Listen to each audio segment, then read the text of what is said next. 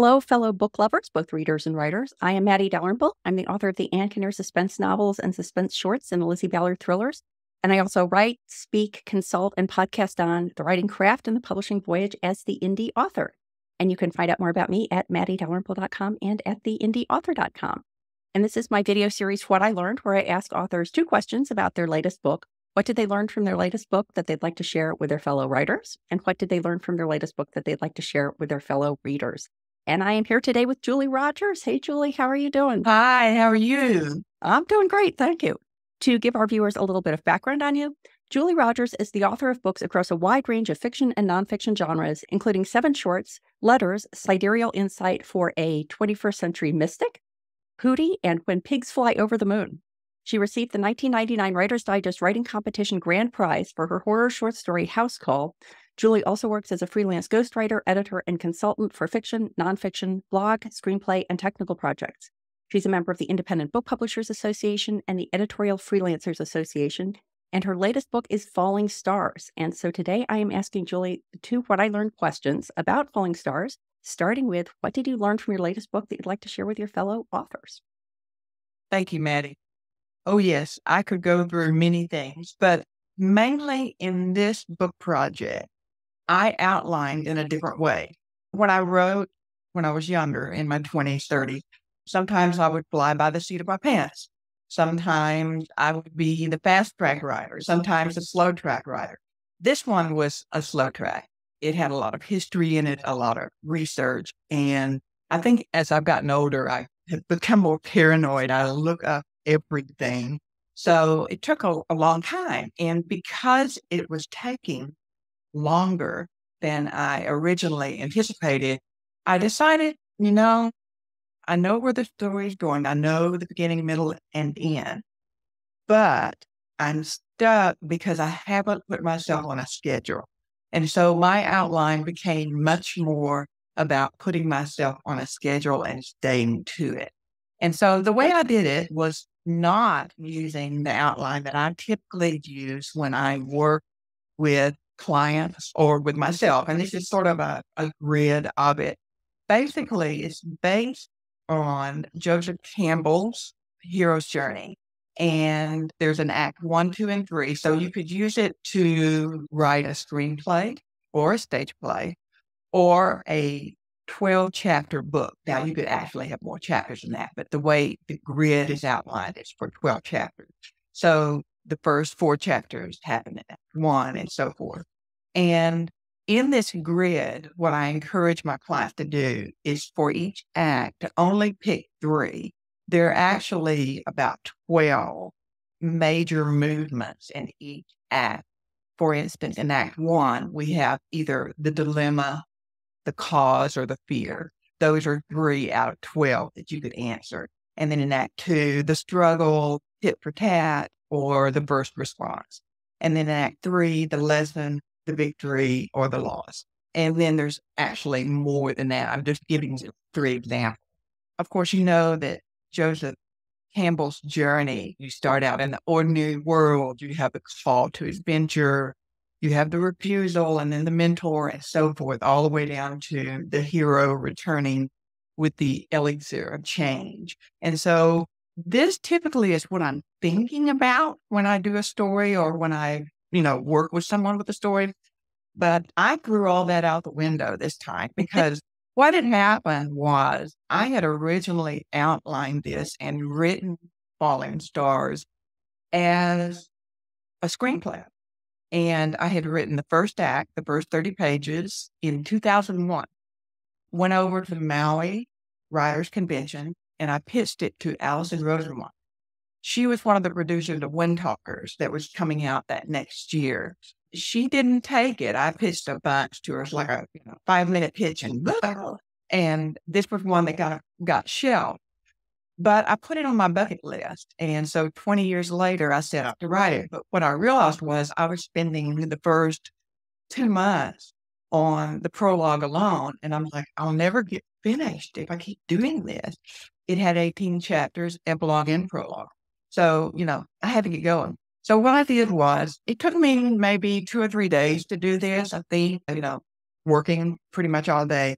but I just did a plain word outline, prologue, chapter one, so forth, and then bulleted the points, you know, what the major action that was going to happen in each sequence. And I added a month to it. In other words, over here, you can see this is chapter 12, July. In other words, for the month of July, I was working on that chapter.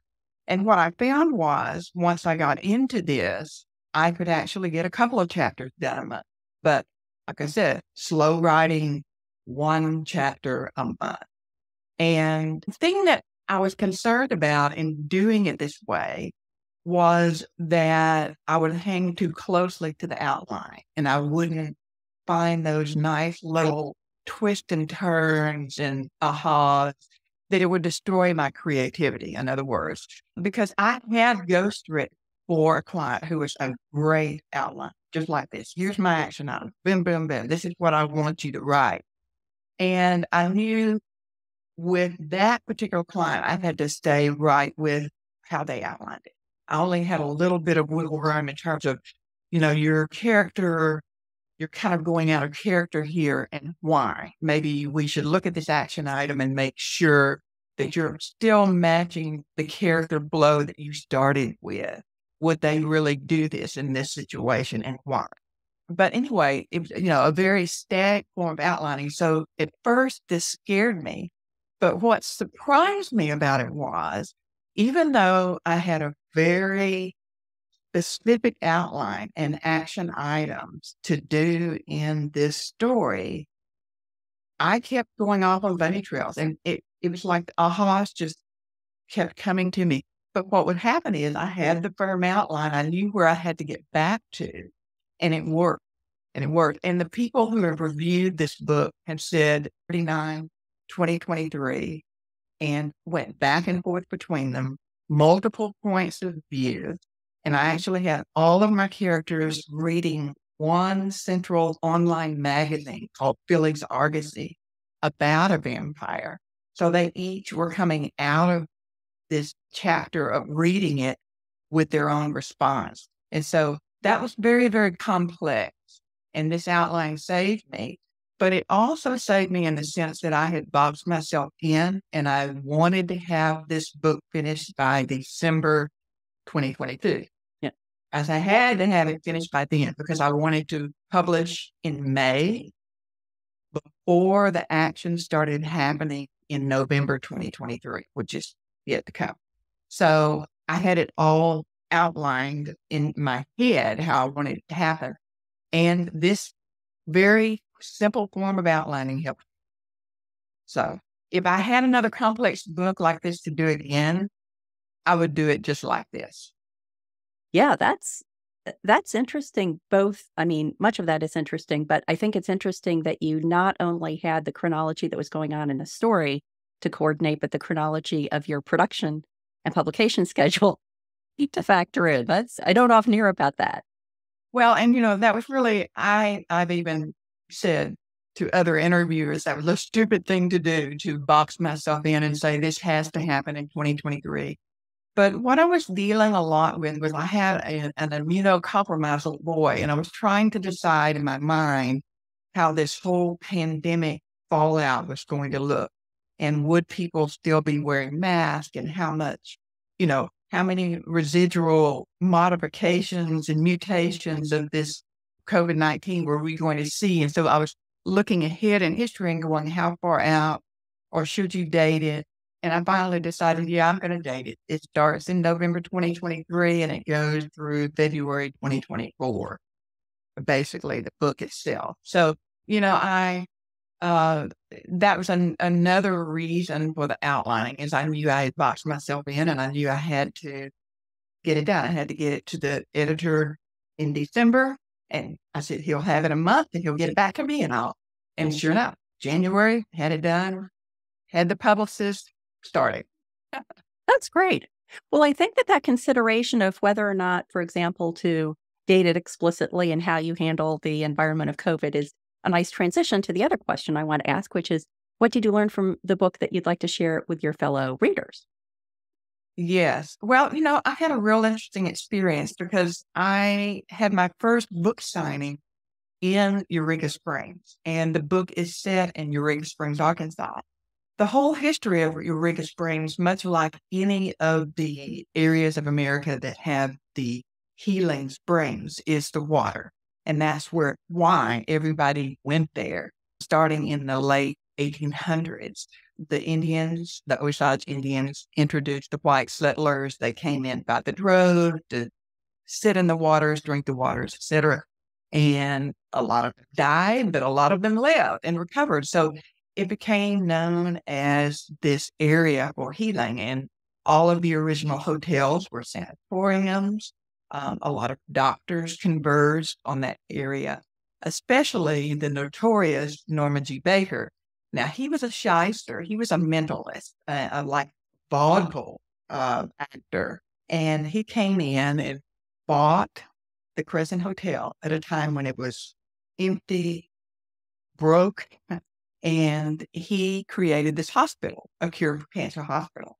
So in my story, I have my sick vampire. He's not a well vampire, he's a sick vampire coming from Cardiff to Eureka Springs, mm-hmm. Arkansas, to Norman Baker's hospital. And the irony is, Norman Baker didn't really cure anyone. He took a lot of money from people, but the vampire is cured through one of his doctors that he has working for him.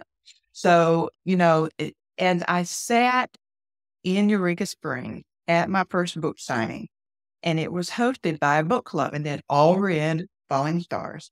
One of the members came back and said, I'm reading it a second time. I love it. You know, it was very, nice. it was very confirming.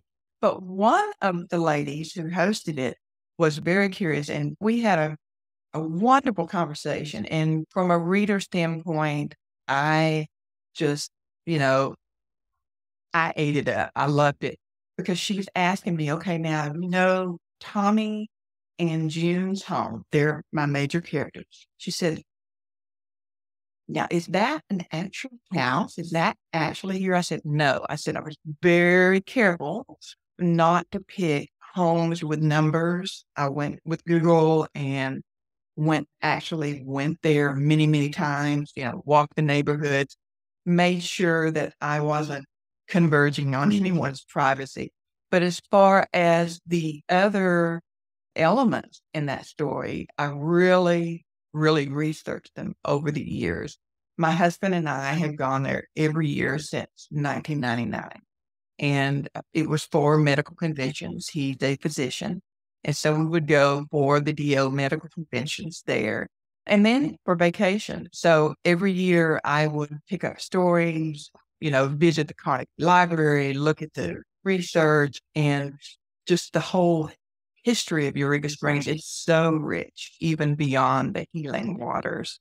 So as I sat with that reader and she was mm-hmm. asking these different questions, I was trying to explain to her that with my background in journalism, I try to set a big element or a tone of realism in my stories. And I, I wanted to in this one. I, Eureka Springs is a real place. These are real buildings. But yet, walking that tightrope with, again, people's privacy and being careful, putting on my HR hat and being careful what businesses am I going to patronize or not patronize in my book? Uh, that sort of thing. So all of those elements had to come in when, you know, when creating a story that is not in a completely fictional world with completely fictional names and items. So you a lot of responsibility. Yeah. yeah when you included the name of an actual place, did you ever uh, alert the people or ask them or let them know subsequently that they were starring in a book, like a bakery or whatever it might be?